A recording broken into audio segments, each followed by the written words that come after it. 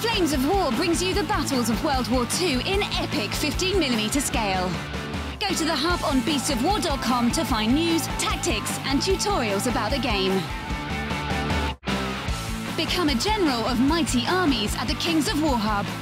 Take command of elves, dwarves, and orcs in this game of masked fantasy combat on beastsofwar.com.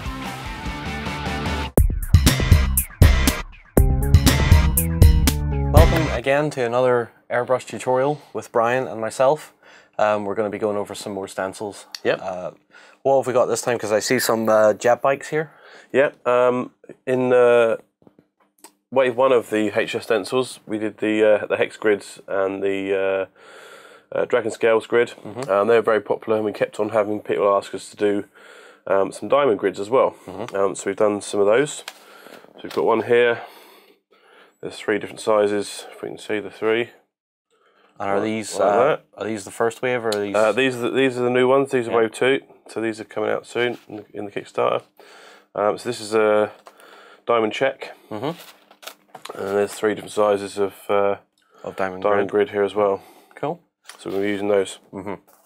So and we have three models here that we're going to be working on. Is it or? Yep. Um, I'm going to use uh, one of them just to show the bigger sizes, um, and then the other two will show the, the different types of grid. All right. Cool. So what is our first step here then? What colors have you chosen for these? Uh, I've got two colours. I'm going to do one red, one of them red, and two of them blue. okay. Um, so I'll do one of each of these two, and then decide what to do the big one for as well. All right. Cool. All right. Well, I will hand it over to you. Yep. So to start with, I'm just going to pick out all the, the raised areas, um, and then we'll, the, the more coats we put on, the brighter it will get.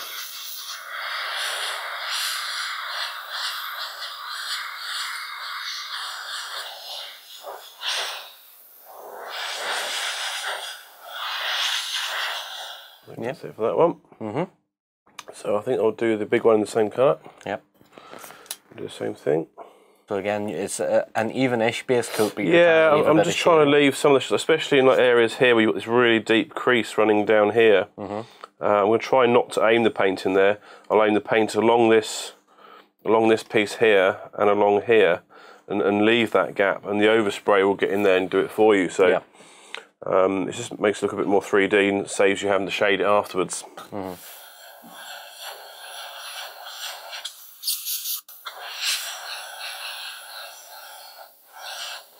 So you can see I'm just shooting through the middle, Mm-hmm. but you can see that the overspray is wrapping around Yeah. and gives it that sort of 3D effect. Yeah, it's it's emphasizing the shading more, emphasizing the shape.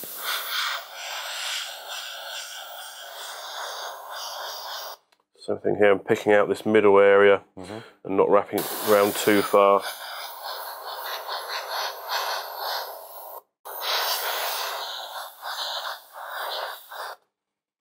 Right, I think that will do Mhm. for that stage.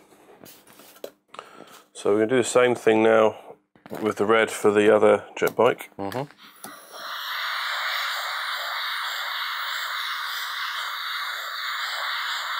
can see on the tin here, it's a, it is actually a very bright red. Mm-hmm.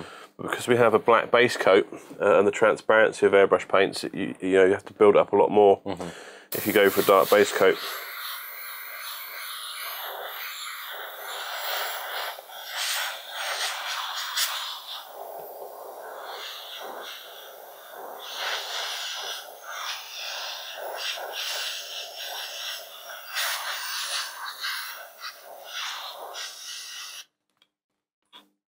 That'll do for that stage. Mhm. So I'll let that dry for a minute. Uh, we're next going to do the, uh, the highlights on the blue. Right. So I'm just going to add a lighter colour um, to what we've already got in the airbrush. Um, although we have got quite a lot of paint in there. So I'm going to tip some out. Okay. So at this point, what blue were we using? We were using Uh, um, We were using imperial blue. yeah yeah imperial blue with a little bit of the electric blue. And at this That one. at this stage, then we will will Just we add more electric blue. Okay. Um, so uh, I'm going to tip out what's in there. It's a bit too much. And add some electric blue. Now with thinning airbrush paints, like uh, the model and game air range are sort of thinner paints anyway. Um, you do need to thin them. That's a, a common mistake, as people think because it's an airbrush paint, you chuck it straight in. You do need to thin it, um, and uh, depending on how transparent you want the paint and, and how thinly you want to spray it on, is how much you need to thin it. Um, it is a bit of trial and error, um, but you do need to thin it, yeah. and particularly with um, very uh, opaque colours, um, such as the the the, uh, the dead white here. If I can show that that one, um, I recommend using some of the uh, the flow improver, the the, the Vallejo flow improver. That helps a great deal with thinning those paints that are really strong and got a lot of pigment in them. Yeah. So I'm just going to aim through the middle part here. This is going to be a highlight and to pick out again to pick out the edges um, and try and leave the darker areas a bit. So this is the part I've just shot there. You can see it's a bit lighter than the rest.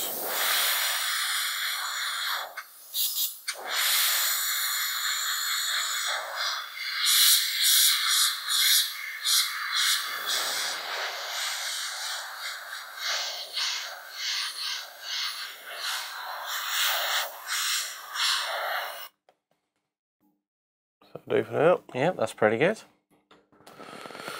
And same with the big one. The, ha-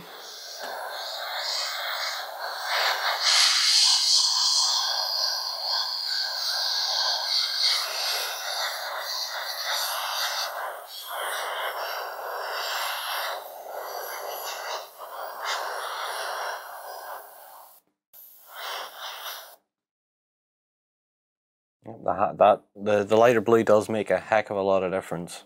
It just, ma- just makes it look a lot more interesting. You really accentuate the curves of the vehicle, and Yeah. you know it makes it stand out a lot more. Right, so we do the same thing now with the red. Yeah. So we'll add some uh, lighter colors and uh, And before thing. we were using the Game Air Scarlet Red, which is that one. yep, And then you're adding, I believe, is it this one you're adding? yeah, we're gonna add some bloody red, and I think I might even put a bit of the uh, golden yellow, that one in as well. Okay. So how much of this, when you're doing the highlighting, how much of this is down to just practice with the airbrush, and how much is when you look at the model, you know where the highlights have to be? Um, Or is that an awkward question? it's uh, you, you need to have the trigger control. Um, if you if you're in as close as I was and you open the trigger up fully, it's just going to paddle and run all over the model. Um, so I can hear. I'll do it on top of this cam. You can see I can do a you know do a little pass of red quite happily. I'm barely moving the trigger. You know, I'm probably only moving the trigger. You know, this sort of amount. If I'm in really close and do it and pull the trigger back fully, you can see it just it just puddles and runs everywhere. So you need to practice that, how far you move the trigger, how close you need to be to get the line you want. Yep. Um, but then also you, look at the model and see where you think the height should be, um, accentuate the curves that are there if it's something like this. Um, but even on quite an angular thing, um, you can just aim dead on the point of the angle and, and pick out that quite nicely as well. Um, you, you can mask a lot of things off, but it's amazing how far you can get without masking. So we're going to do the same thing here. Just lighten up the uh, the curves and the the, the uh, leading edges.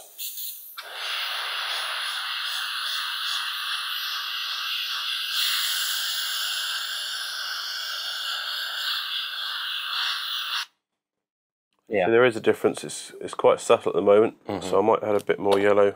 I suppose this is also the, the joy of it. When you do a little bit, you can see where the tone is. Yeah, well, that's why I do it. just a little bit to start with. Is um, and also why you, you you don't just instantly go for a really bright highlight. Um, you want to sort of build to it, and it's just easier to do it if you do it in stages.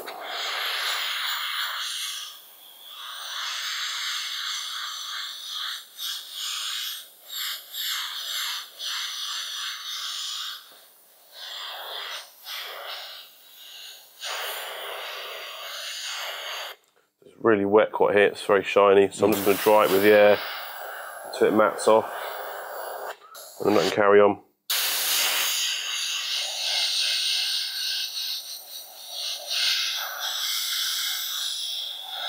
At this stage, you can even pick out these um,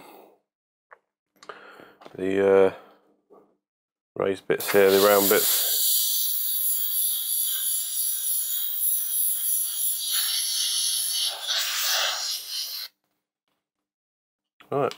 Yeah, we'll do. That's looking good.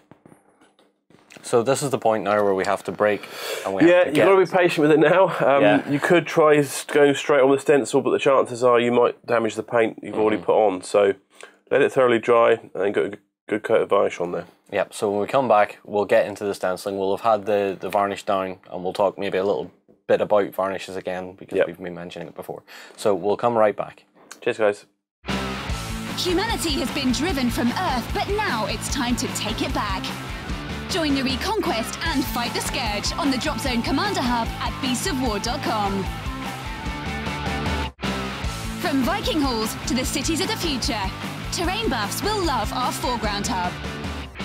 Watch gaming tables of all genres come to life at beastsofwar.com. So welcome back to part two uh, of our little jet bikes. We're now ready to apply the stencils. So Yep. what stencil are we using? Uh, we're going to use the uh, diamond check one. This is the smallest one. Uh, I'm going to pick out some areas.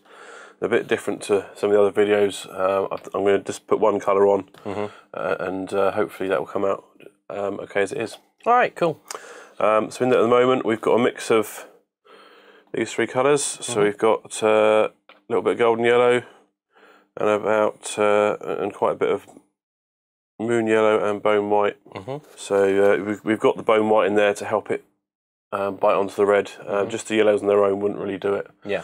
So uh, let's see how it goes.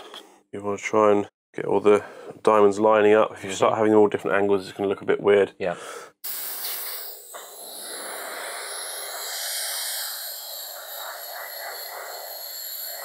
But it, even with the bone white in there, you're still going to have to layer it on a few more times than than the other than just pure white. Yep. Um, so you have to be patient and be careful not to move the stencil. Mhm. There we go. And you're still getting because you're using the airbrush, you're getting that fade. Yeah, I, I like to have them fade out. If you don't want them to fade out, what you would do is you would mask off the area you're not using of the stencil and just really concentrate on the whole area evenly. Yep. Um, but I like having them fade out. Uh, Yeah. I think it looks cool. Yeah, it does. What you can also do when you're using a coloured paint rather than the white we were using earlier, you can see here where we were using earlier.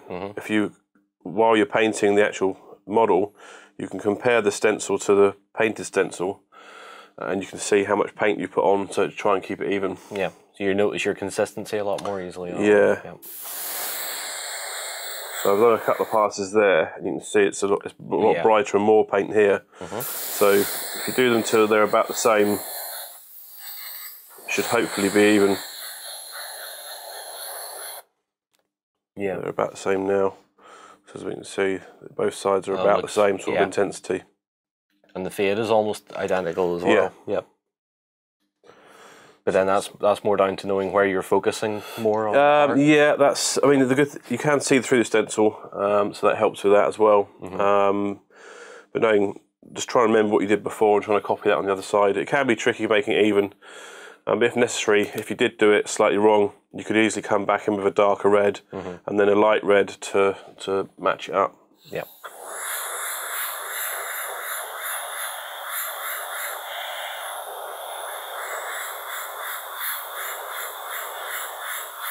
See that side's very wet, so I'm going to dry it with the air before I put the other side on.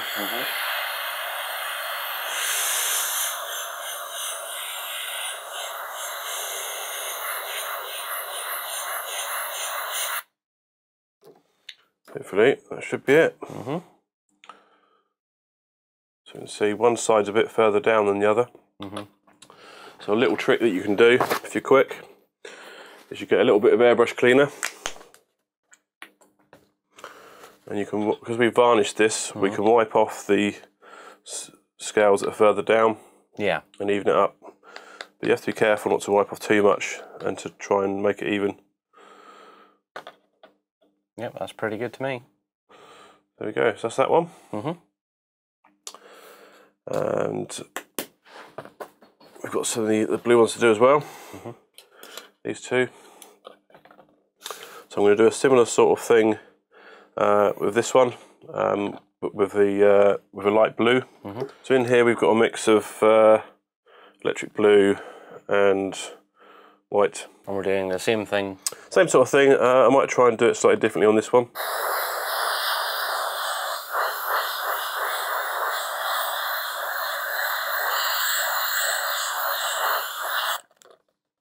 Now that's cool. I like that.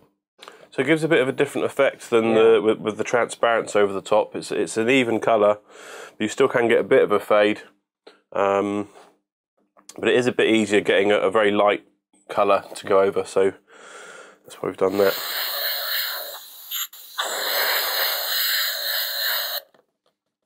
Yeah. There we go. I think I'll leave that one like that. Yep, that is very cool. So that's why we call them, call them uh, high speed stencils. it's uh, it's very quick to get a cool effect. And what about our our larger one then? Uh, I was going to do the um, the same sort of way, but use the transparent paints, the inks, to to tint it. All right. Um, so I'm going to add a bit more white to the pale blue we've already got. Now you're using very little uh, of the thinner as well. yeah, you don't very need an awful lot. If you put too much in, it makes it very transparent, which can be a good thing, but not for this. You, you really want to get the stenciling part done in one go. Yeah. uh, and, and quick as possible so you don't move it while you're working. So on this one, I'm actually going to use the diamond grid. Again, you want to get it, get the model, the, the stencil on the model as flat as possible. If you can see it's not flat somewhere, just don't don't spray that part.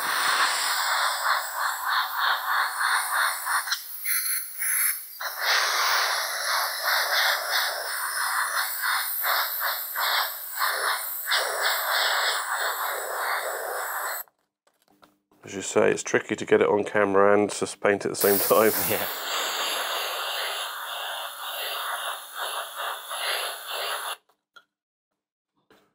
Excellent. It's quite even. And then I'm going to use the same stencil, but a smaller version, uh, to pick out some of the other areas. And what what are you calling the smallest ones? The, the Uh, these- we're calling these micro ones. Um, this is this is a small, and uh, no, this is a small, and then that's the mini. And those come as a set, mm-hmm. and then the micro one comes on its own.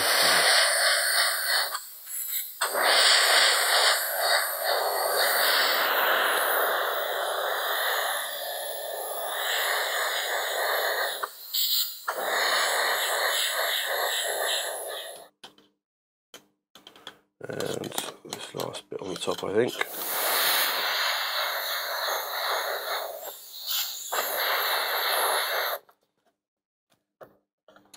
Uh, I think I might pick out these raised Yeah. engine parts here as well. It does. It, you're immediately showing as well how much the different grid sizes change the dynamic of the shape of the, of Yeah. the vehicle in this case as well. Yeah. You're getting more interest as you add Yeah, that's what that's why I like to sometimes use them in combination. Um, it's, uh, as you say, adds a bit more interest.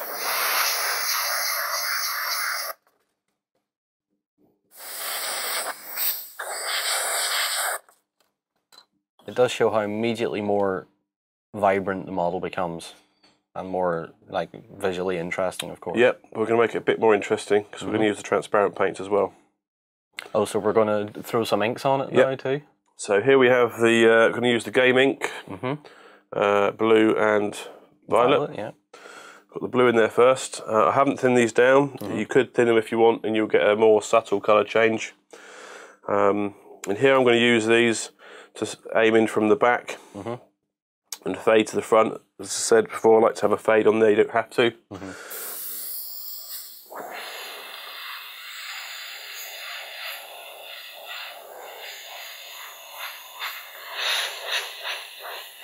Kind of bringing it in as a curve round mm. here Yeah. kind of accentuates the front a bit. And this piece here, mainly aiming at the side here. Mm-hmm.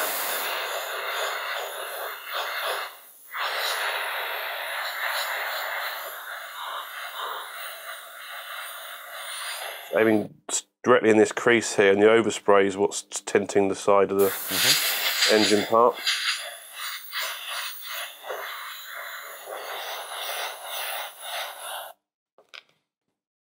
There we go. And then we're going to chuck some purple on there as well. Mm-hmm. It'll make it pop even more.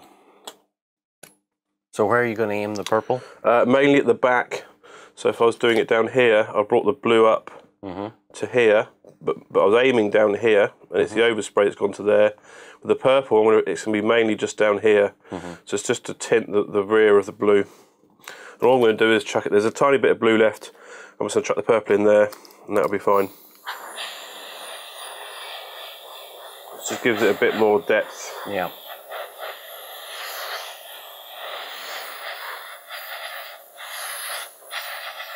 So as you can see, you know, very quick, Mm-hmm. um, and it looks great. You know, do you even need any edge highlights? No.